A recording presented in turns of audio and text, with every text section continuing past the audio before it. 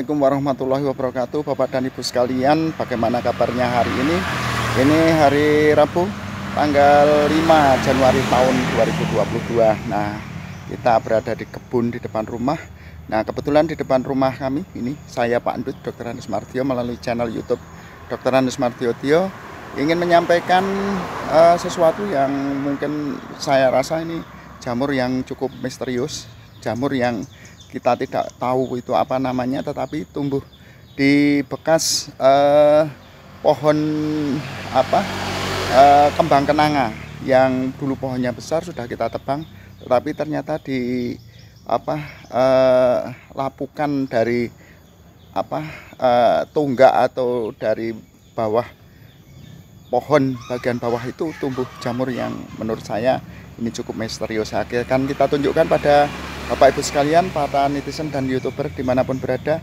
jamur yang ada di depan rumah kami. Kemudian eh, ini jamur yang ada di depan rumah kami. Ini jamurnya cukup besar, jadi seperti jamur kuping, tetapi tidak tahu ini benarkah ini jamur kuping.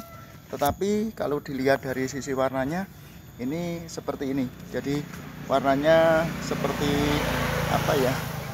Kuning pucat atau warna apa ya ini? Warna coklat susu yang uh, tumbuh jamurnya ini cukup besar.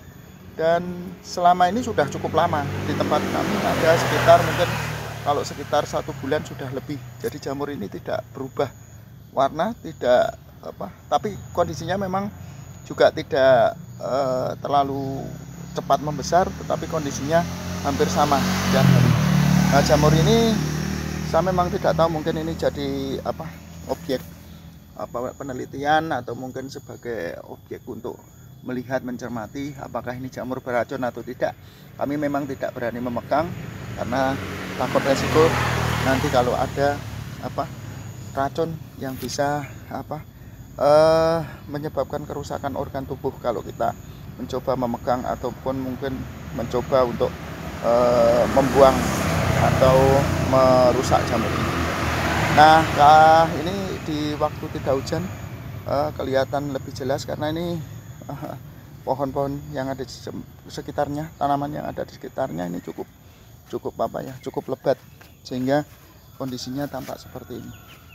Nah, Bapak dan Ibu sekalian, saya kira jamur ini kan ada yang memang bisa bermanfaat, bisa dikonsumsi, uh, ada yang tidak bisa dikonsumsi karena banyak mengandung racun.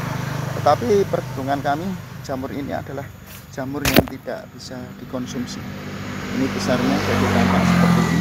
Jadi bapak ibu bisa melihat uh, cukup besar dan tempatnya memang persis di tunggak atau di akar dari pohon kenanga yang dulu sudah kita tebang.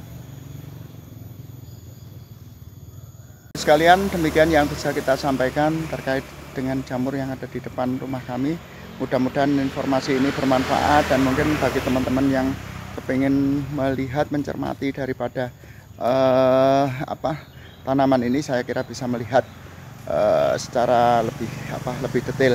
Dan informasi ini tentu saja akan menjadi apa ya pengetahuan bagi Bapak Ibu yang selama ini mungkin memerlukan apa ya pengetahuan lebih luas tentang jamur yang memiliki ilmu. Monggo silahkan untuk diterjemahkan dan untuk di apa dicermati dari video ini mudah-mudahan memberikan wawasan pada eh, teman-teman uh, yang lain masyarakat youtuber dan netizen di mana pun berada.